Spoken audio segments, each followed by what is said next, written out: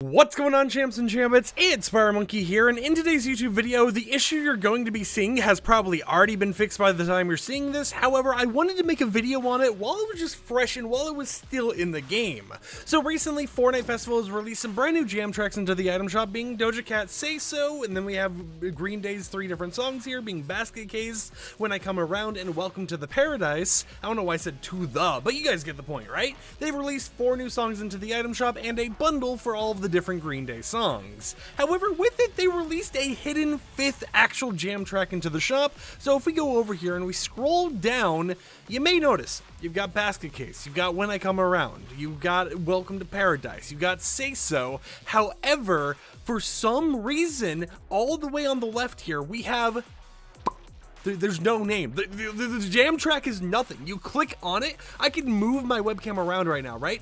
There, there's no information here. You get a 100 emoji, you get a default skin, kinda default, I guess, right here as the little icon. It's a jam track, it has no name, and it was released in the item shop. Now, this is going to become an actual jam track in the future, because what you're seeing right here is the placeholder image whenever Epic Games releases a jam track into the game without any data at all. So every, like, there's like 200 different IDs in the files, right? This ID right here, when I was actually checking in the back backend is ID number 125, and they support up to ID 200, so they could technically hotfix in 200 songs whenever they want to. However, they for some reason put this one in the shop when it wasn't supposed to be here. What it makes me think is originally we were supposed to get five songs announced for this week's actual shop rotation, and they had the item shop prepared for five songs, however they did decided last minute to, you know, not release one of those songs, and it caused this odd little desync where, hey, the item shop people thought it was supposed to come out, so it was in the API,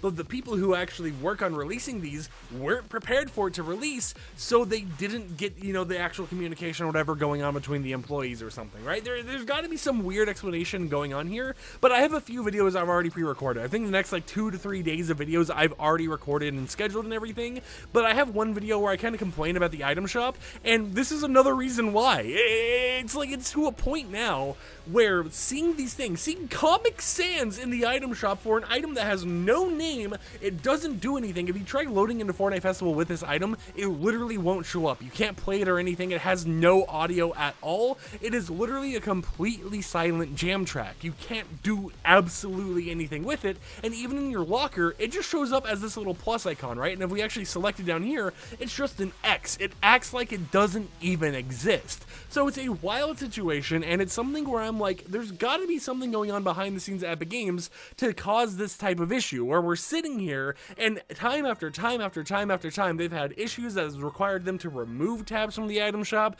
It's caused stuff such as a jam track that you're not even supposed to own to be able to be bought in the item shop for some reason. And of course I bought it, right? It was 500 V-Bucks and I wanted to see what would happen if you officially owned a unreleased jam track and it just does nothing. You basically have a piece of air in your locker. Now, I'm pretty sure they're going to end up fixing this, and they're going to end up relinking it from the actual game or something, and since it's completely unreleased, I wouldn't even be surprised if they went ahead and refunded everyone who bought it early, since technically, for someone like me who just wanted to own it for the novelty fact that you're owning something that you're not supposed to have, you're kind of getting scammed in a way, right? And later down the line, it will be turned into an actual jam track. Now, I understand the whole entire thing of, well, you decided to buy something that literally was unknown because it's not supposed to be there, so you can't technically be scammed for something you intentionally did, but it is going to be an interesting situation to see what ID number 125 actually turns into in the future, because that means that whatever song was in the item shop right here that was supposed to be above Say So was supposed to release this week, today, or I guess, you know, last night by the time you're seeing this video,